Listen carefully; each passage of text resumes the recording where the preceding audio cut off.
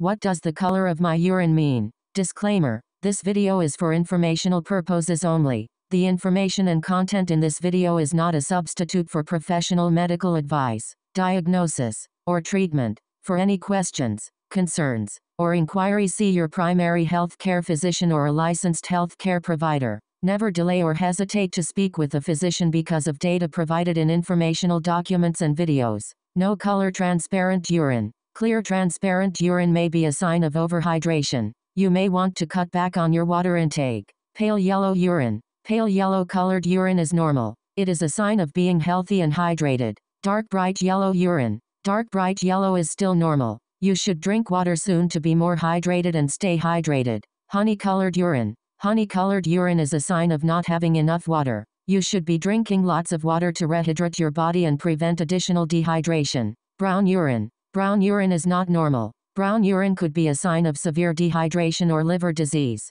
Red or pink urine. Red or pink urine can occur for multiple reasons. It could be caused by too much beet blueberry consumption, menstruation, kidney disease, tumors, urinary tract infections or prostate issues. Orange urine. Orange urine is not normal and can be a sign of severe dehydration, liver condition or bile duct condition.